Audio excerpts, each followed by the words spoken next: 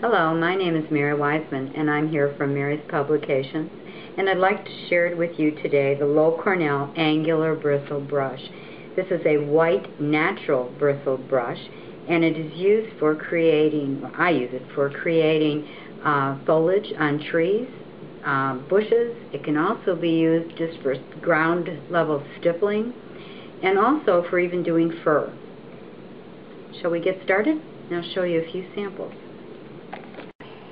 It is a good idea before beginning to wet the bristles of the brush. I like to keep a little extra water in the brush, not maybe as flooded as this is, but a little bit that'll help to extend the paint. Now I'm going to go over to the paint and put the bristles of the brush into dipping it in and I'm going to fill it about a third of the way. You can almost see that the paint is filled about a third of the way.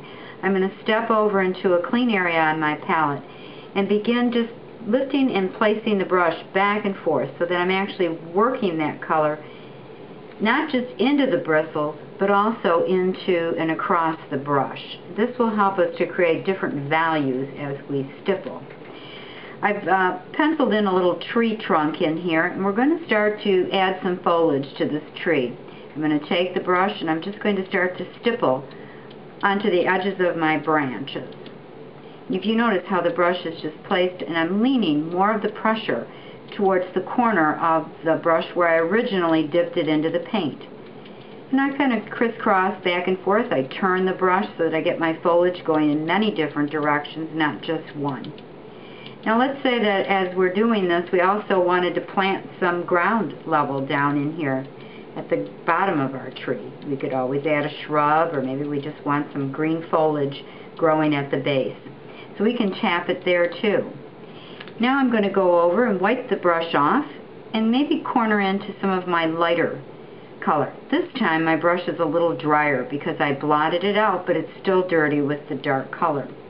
I'll step over again on the palette. This is very important to always still stipple the color off on the palette. Don't go directly to the piece.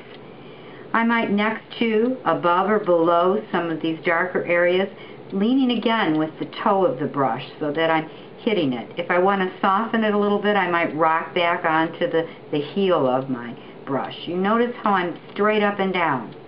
I'm not just taking the brush and, and pressing down once or twice. I'm tapping lightly, creating different values. Maybe I want real light foliage into the sky area back here, so I'd have a lighter touch. More color, heavier touch. Same thing down on the ground level might come in and, and stipple in back and forth, creating that foliage. Sometimes it's fun if we had had more colors on our palette, we could stick colors into our tree and create a springtime blossom.